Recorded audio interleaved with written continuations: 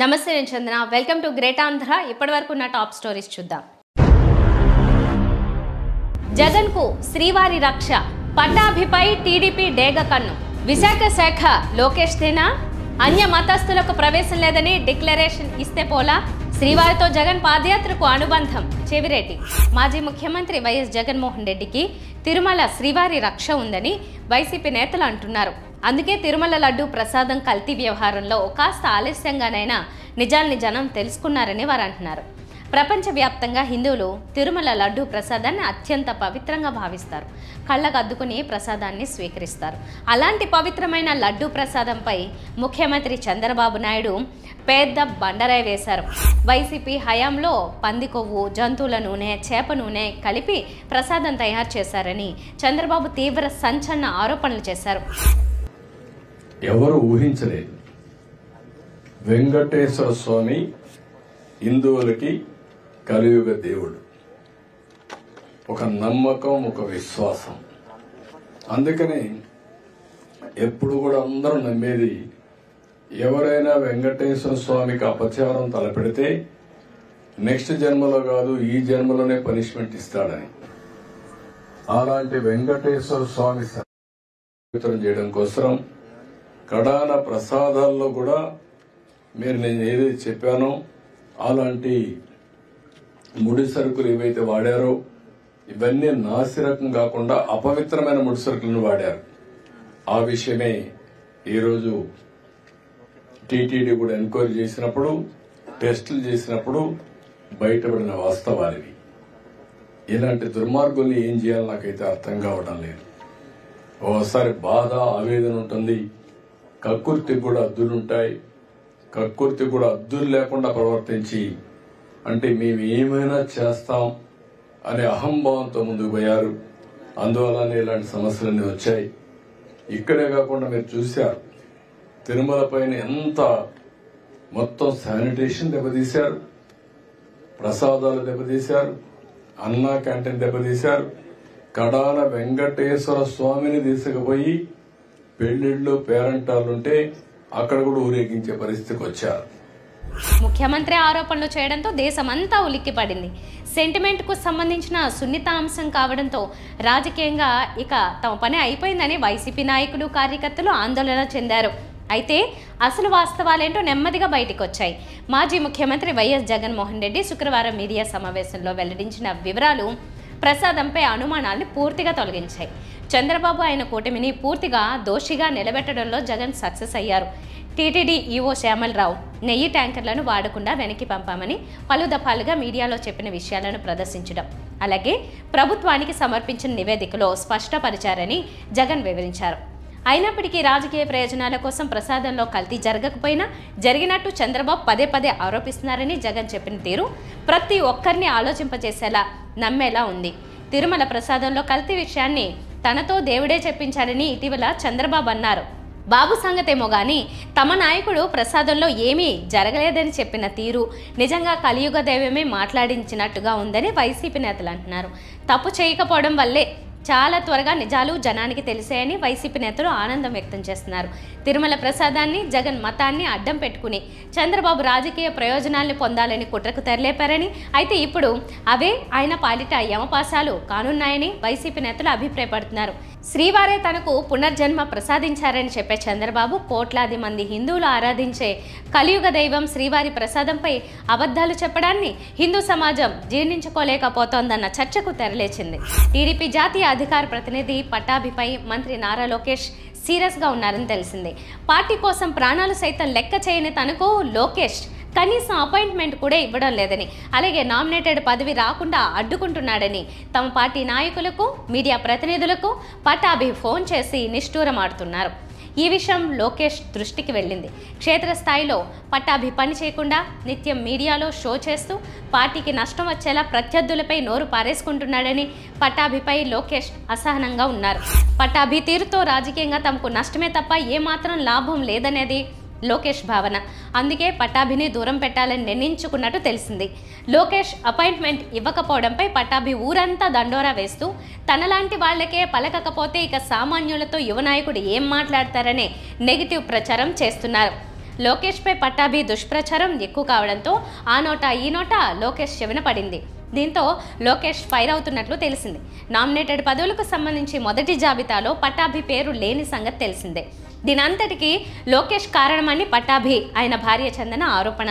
TDP జాతీయ అధికార ప్రతినిధి తమ అనుకూల ఛానల్లో కూర్చుని ఆవేదన వ్యక్తం చేయడం వెనుక పట్టాభి ఉన్నాడని లోకేష్ అనుమానిస్తున్నారు. ఎందుకంటే తనతో పట్టాభి ఆవేదన వ్యక్తం చేశాడని అలాగే మరికొందరు నాయకులు కూడా మాట్లాడి బాధపడినట్లు జీవీ రెడ్డి చెప్పిన సంగతి తెలిసిందే. విశాఖ జిల్లాకు మంత్రి ఎవరూ లేరు. ఏపీలో మెగా సిటీగా ఉంది. వైసీపీ ప్రభుత్వం కూడా రెండోసారి విస్తరణలో రెండు మంత్రి పదవులను అనకాపల్లి జిల్లాకే అప్పగించింది. విశాఖకు ఆనాడు మంత్రి పదవి ఎందుకు ఇవ్వలేదని టీడీపీ కూడా విమర్శించింది. అదే టీడీపీ ప్రభుత్వం అధికారంలోకి వచ్చినా కూడా అదే జరిగింది. దాని మీద లోపల కుమలడమే తప్ప తమ్ముళ్ళు ఏమీ చేయలేని పరిస్థితి ఉంది. అయితే నారా లోకేష్ మాత్రం మంత్రిగా విశాఖకు ప్రాధాన్యత ఇస్తున్నారు. ఆయన నెలలో కనీసం రెండు మూడు రోజులు విశాఖలో గడిపేలా ప్లాన్ చేసుకుంటున్నారు. దాంతో విశాఖ శాఖ కూడా ప్రత్యేకంగా లోకేష్ తీసుకున్నారా అని పార్టీ లోపల బయట అంతా తరికించుకుంటున్నారు లోకేష్ వచ్చిన ప్రతిసారి పార్టీ ఆఫీస్లో ఉంటున్నారు. పార్టీ నేతలతో మాట్లాడుతున్నారు. వారి మంచి చెడ్డలను చూస్తున్నారు. ప్రజా దర్బార్ని కూడా నిర్వహిస్తూ స్థానికుల నుంచి సమస్యలు తెలుసుకుంటున్నారు. ఆకస్మిక తనిఖీలు తన శాఖ తరపున చేపడుతున్నారు. ఈ విధంగా లోకేష్ విశాఖకు వస్తూ పోతూ మంత్రి లేరు అన్న లోటును తీరుస్తున్నారు.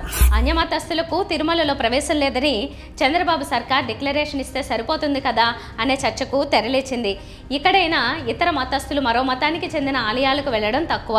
దేవుడు ఒక్కడే ఎవరైనా ఒకటే అనే భావనతో కులమతాలు పట్టింపు లేకుండా ఆలయం ఏదని చూడకుండా కొందరు దర్శనానికి వెళుతుంటారు. అలా వెళుతున్న వారికి నిబంధనలు పెట్టడం ఎంతవరకు సమంజసం అనే చర్చకు తెరలేచింది. మాజీ ముఖ్యమంత్రి వైఎస్ జగన్మోహన్ రెడ్డి తిరుమల పర్యటనను అధికార పార్టీ తీవ్ర వివాదాస్పదం చేసింది. అన్యమతస్థుడైన జగన్ డిక్లరేషన్పై సంతకం చేయాల్సిందే అని పట్టుబట్టడం చర్చనీయాంశమైంది. ఆయన కాంట్రడిక్షన్ ఆయన చెప్పుకుంటున్నాడు. నేను అడిగే స్ట్రైట్ క్వశ్చన్. మీరు రాత్రిలో బైబిల్ చదువుకుంటానంటారు. ఓకే తప్పులేదంట. నేను నేను తప్పు పట్టను that is your right day time చదువుకోవచ్చండి. ఇది రాత్రి చదవడం? ఓకే క్రిస్టియన్ను ఒప్పుకున్నాక అక్కడ డిక్లరేషన్ ఏమంటున్నాం? ఎందుకు ఇవ్వు అని అడుగుతున్నాం. అంటే మీరు ప్రజల మనోభావాల్ని దెబ్బతీసే విధంగా ప్రవర్తించే హక్కు మీకు ఎవరు ఇచ్చారంటున్నాను నేను అంతవరకే. నిబంధన అనేది విఐపీకైనా సామాన్యులకైనా ఒకటే అని భావిస్తున్నప్పుడు నిత్యం ఎంతమందితో టీటీడీ డిక్లరేషన్పై సంతకాలు తీసుకుంటున్నదో వివరాలు చెప్తుందా అని కొందరు ప్రశ్నిస్తున్నారు. నిత్యం సర్వదర్శనానికి వేలాది మంది వెళ్తుంటారు. వాళ్ళంతా కేవలం హిందువులు మాత్రమేనా? ఇతర మతాలు విశ్వాసాలు ఉన్నవారు శ్రీవారి దర్శనానికి రారా అనే చర్చకు తెరలేచింది. రాజకీయంగా జగన్ను వేధించడానికి తప్పితే మరే కారణం లేదని అంటున్నారు. హిందువుల్లో దేవుని నమ్మని వాళ్ళు ఉంటారని మరి వాళ్ళు తిరుమలకు వెళితే డిక్లరేషన్పై సంతకం అవసరం లేదా అని ప్రశ్నించే వాళ్ళు లేకపోలేదు. ఉదాహరణకు కమ్యూనిస్టు నేతలు దేవుళ్ళని నమ్మరు. కానీ అప్పుడప్పుడు మిత్రులు కుటుంబ సభ్యుల కోసం తిరుమల దర్శనానికి వెళ్తుంటారు. హిందువులైనంత మాత్రాన అసలు దేవుడే లేరనే వారి విషయంలో టీటీడీ అభిప్రాయం ఏంటనే ప్రశ్న ఉత్పన్నమవుతోంది హిందూ కానంత మాత్రాన శ్రీవారి విశ్వాసం నమ్మకం ఉన్నా డిక్లరేషన్పై సంతకం చేయాల్సిందేనా అనే ప్రశ్నకు సమాధానం చెప్పాల్సిన అవసరం ఎంతైనా ఉంది. ఈ చర్చ అంతా తిరుమలలో జగన్ డిక్లరేషన్పై సంతకం చేయాలనే ప్రశ్న ఉత్పన్నం కావడం వల్లే మన దగ్గరికి విశ్వాసంతో వచ్చిన వారిని ప్రేమగా అక్కున చేర్చుకోలే తప్ప నియమ నిబంధనల పేరుతో దూరం చేసుకోవడం ఎంతవరకు సమంజసమో ఆలోచించాలనే అభిప్రాయం కూడా లేకపోలేదు. కలియుగ దైవం శ్రీ వెంకటేశ్వరుడితో తమ నాయకుడు వైఎస్ జగన్మోహన్ రెడ్డికి అవినాభావ సంబంధం ఉందని చంద్రగిరి మాజీ ఎమ్మెల్యే చెవిరెడ్డి భాస్కర్ రెడ్డి అన్నారు. ఆయన మీడియాతో మాట్లాడుతూ అన్ని మతాల కలయికే హిందూ మతం అని అన్నారు. శ్రీవారి సత్యమణి బీబీ నాంచారమ్మ ఎవరో తెలుసుకుంటే మతాల గురించి ఎవరూ వివాదం చేయరని చెవిరెడ్డి అన్నారు. పరిపాలన చేసే వ్యక్తి ఎదుటి వాళ్ళపై ఆరోపణలు చేయరన్నారు. పరిపాలన చేతకాని వాళ్ళు మాత్రమే ఆరోపణలు చేస్తుంటారని ముఖ్యమంత్రి చంద్రబాబు నాయుడుపై పరోక్ష విమర్శలు చేశారు. ఉప ముఖ్యమంత్రి పవన్ కళ్యాణ్ తన భార్య పిల్లలు క్రిస్టియన్లని చెప్పారని. దాన్ని తప్పుపట్టాల్సిన అవసరం లేదని ఆయన అన్నారు. మతం అనేది పూర్తిగా వ్యక్తిగతమైన విషయం అన్నారు. దాన్ని రాజకీయం చేస్తే సమాజంలో విపరీత ధోరణులు చెలరేగుతాయని చెవిరెడ్డి ఆందోళన వ్యక్తం చేశారు. అన్ని మతాల ఆరాధ్య దైవం శ్రీ వెంకటేశ్వరుడని చెవిరెడ్డి అన్నారు. మొదటిసారి కొండకు వైఎస్ జగన్ వస్తే డిక్లరేషన్పై సంతకం చేయాలని అడిగినా అర్థం ఉంటుందన్నారు. జగన్ అనేక దఫాలు తిరుమలకు వచ్చారన్నారు. దేవుడిపై భక్తి ఉంటేనే తిరుమలకు వస్తారని చెవిరెడ్డి తెలిపారు. జగన్ జీవితంలో అతి ముఖ్యమైనది పాదయాత్ర అని చెవిరెడ్డి చెప్పారు. అలాంటి పాదయాత్ర ప్రారంభించే ముందు అలాగే ముగిసిన తర్వాత శ్రీవారి ఆశీస్సులు తీసుకున్నారన్నారు. ఇందులో ఆశ్చర్యకరమైన మరో విషయం ఉందన్నారు. జగన్ మూడు వేల ఆరు వందల ఎనభై కిలోమీటర్లు నడిచారన్నారు. అలాగే తిరుమలకు చేరుకునేందుకు అన్నే మెట్లు ఎక్కారని చెవిరెడ్డి తెలిపారు. శ్రీవారిపై జగన్ భక్తికి నిదర్శనం ఏముంటుందని ఆయన ప్రశ్నించారు. తన పాదయాత్ర ప్రారంభం దేవుడి దగ్గర నుంచే స్టార్ట్ చేశాడు. పాదయాత్ర ముగింపు దేవుడి దగ్గరికి వచ్చిన తర్వాతే తన ఇంటికి వెళ్ళాడు. దీంట్లో ఒక ఒక ఆశ్చర్యకర అంశం కూడా ఒకటి ఉంది. తన మొత్తం నడిచినటువంటి పాదయాత్ర మూడు వేల ఆరు వందల ఎనభై కిలోమీటర్లు నడిచాడు. తిరుమలకి ఎక్కింది మూడు వేల ఆరు వందల ఎనభై మెట్లు ఎక్కాడు. తిరుమల నడవడానికి ఎక్కినటువంటి మెట్లు ఆయన నడిచినటువంటి పాదయాత్ర కిలోమీటర్స్ ఒకటే అయ్యాయి.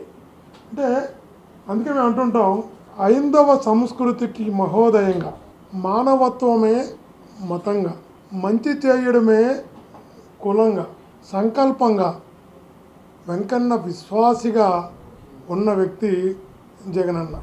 ఇవి వాళ్ళ టాప్ స్టోరీస్ మరిన్ని అప్డేట్స్తో కలుద్దాం. నమస్తే.